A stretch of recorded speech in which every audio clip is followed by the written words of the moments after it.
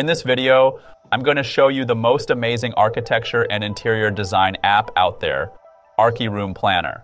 Now, obviously, I'm a little biased, but my goal here is to show you all the features that we have to offer and help you see the process from the very beginning all the way to setting up projects and visualizing them in AR and having your visualization wow your clients and teammates.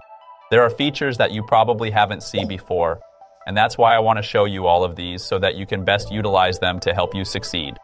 So let's jump in here and I'm going to show you the whole process. So first you got to head over to ARki app on the App Store, install it, and you are ready to go.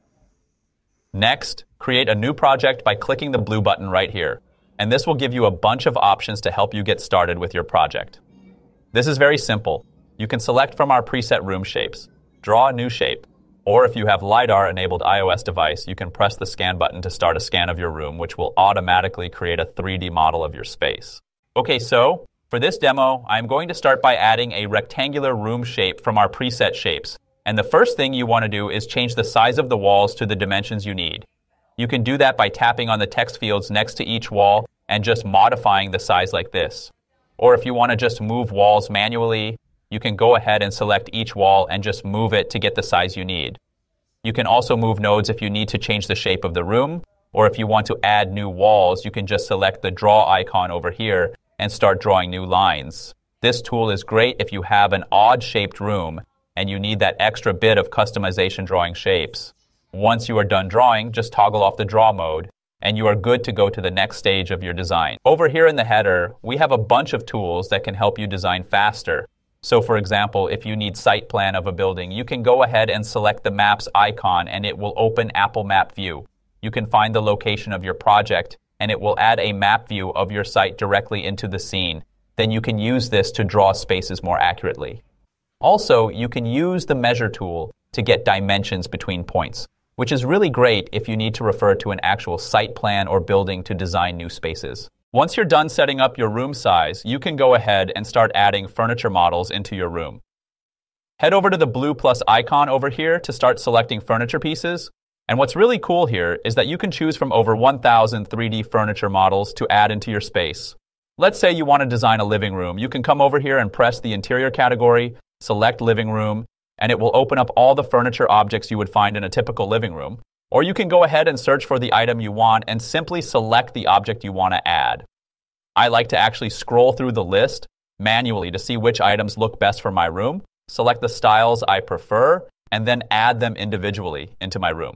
These are all great ways to find a bunch of models which work for your design. Over here, the 3D icon automatically converts your scene to 3D, and once you do this, you can instantly see your project in three dimensions. I usually refine my design in 3D as it lets you have a better perspective of the room, but sometimes you may need to switch between 2D and 3D depending on what you are trying to design. You can check out any perspective by rotating the camera view with your finger and zoom into details with pinch gesture. What's really cool here is that if you want to have a walkthrough of your interior, you can use the joystick on the bottom left to navigate around your new design. In 3D, you can continue to add furniture or custom models into the scene. Simply drag them in position like this. A quick trick here if you want to add windows and doors on a specific wall, select the wall first and then go to the Construction tab and select the window or door you want. This will make sure the window is added on the correct wall, but you can also easily move windows and doors by dragging them across the room like this. When you select a model, you will see the Transform menu in the left, and you can use the tools here to apply a bunch of transformations, such as rotate, duplicate, and even edit, to change the dimensions of the actual 3D models.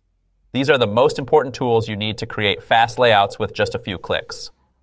If you are looking for more information about each product, up here in the heading, select the Info button to get a link to the models in our catalog. All models are taken from real world products, so you can see exact dimensions, product specifications, and even where to buy these which makes fitting your next project even easier. This is really great because now you have a room set up with a few clicks, and all you need to do is change the materials and colors, and you are good to go.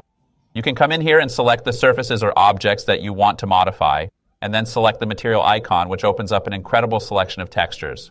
Once you do this, you can instantly have a stylized interior with customized colors and textures. If you are someone who wants to import their own 3D models, such as 3D buildings or furniture pieces, you can do so by pressing the import button.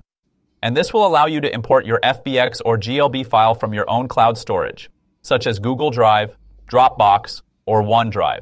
All you have to do is copy and paste the URL of the model and press the import button, and you will see your project imported into the scene. This is really great because if you have a building already designed, you don't have to draw it out again within the app. You can just import a bunch of models and use the app for awesome visualizations. We have a series of tutorials in the app which will help you batch import multiple files, and that way you don't need to manually import them individually. If you have hundreds of models, it can take forever downloading them all one by one. So this way you can just import one file and the app will automatically convert your files into a list of models which you can drag and drop into the scene. Check out the links in the description for more information on batch importing. The next step after that is to set up some lighting.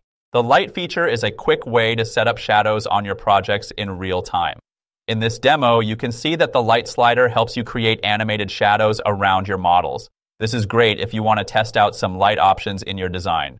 If you want to add notes to the project, maybe you want your clients to see some specifications about the products, you can add annotates to each model. Just select the Annotate button here, double tap on the part of the project you want to annotate, and then simply fill in the information you want to add. This is a really cool way to mark up or collaborate on projects with multiple people. If you are an AR enthusiast, you should know we have some of the most advanced augmented reality features in ARki. For start, check out the AR icon up here to overlay your 3D scene in the real world. Just scan your space slowly and the app will simply overlay the 3D models in your scene directly into the real world. You can do this with any models, especially custom ones that you have imported into the scene, and you can easily set the size of the models to full scale by selecting the transform icon in the header and then toggle between full or normal scale, or adjust the slider to the scale you want. This is seriously cool, as now you can overlay any space with real-world objects and start to experience the designs in the real world. The transform buttons are a really great way for you to position models in AR accurately, especially if you are working with large scale models such as buildings. You can use the axis sliders to move or rotate models in position. And we even have an add pivot button that can be used if you need to adjust the pivot of the model for better control. Just select add pivot and tap on the part of the model that you need to set as the new pivot point.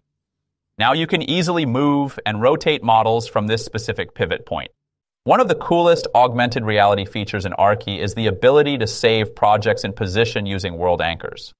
Honestly, this feature is groundbreaking for all sorts of AR visualizations. For example, if you want to overlay digital models on top of physical ones, you can use world anchors to save positional data about the physical model and overlay digital models on top.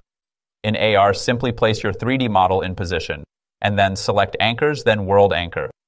In this example, I am using the physical site model of a railway station as my world anchor. And to anchor my 3D model of the footbridge in place, I am doing a 360 scan of the physical object. This allows the app to store as many feature points about the object as possible, so that when you load the project from any perspective, it will know how to load it accurately. So the next time you load the project and you want to see your model in position, press World Anchor again, and it will show you an image of the stored anchor, ask you to do a scan of the space, which usually takes a few seconds before your 3D model is loaded in position. It's that simple and it feels like magic. If you want to anchor your projects to images, we also have image anchors. So every time the app sees the defined image, it will anchor the model to that image. You can do this with all sorts of images, from floor plans to QR codes, and that means you can simply augment any images with your 3D projects. Currently, image anchors are created inside your 3D software package using a simple textured plane to define as an anchor. And we have a series of tutorials which walk through how you can create accurate image anchors inside your 3D software, so check out the Learn tab for more information. So you have a project set up, you have the materials and textures looking great, and the next step is to share the project with others in your team. Now, how you share a project is simple. Just save your project by pressing the Save button. Then navigate back to the Projects tab of the app. Next to the project, you will see a drop-down menu which lets you sync or share the project. Sync to Cloud lets you access your projects on other devices, and the Share feature lets you easily share projects using either a QR code or a share link. In this demo, we are sharing the project with a QR code, which you can easily send to others to scan and download the entire file. Once the project is shared, it can be accessed by anyone, even if they do not have a subscription. Essentially, they will be opening the project in viewer mode and will be able to access the features which you have enabled in the project. Down here in the Learn tab, we have all sorts of tutorials to help you succeed. Our amazing community of designers are actually the ones who dictate future features. So reach out and tell us what you would like to see in our future releases. You can send us a message simply just by clicking this in the Settings tab. And lastly, you can join us on social media and check out our videos and tutorials there's lots of help there. Thanks for watching this demo. If you want to create incredible designs and fast visualizations, go to the link in the description right now.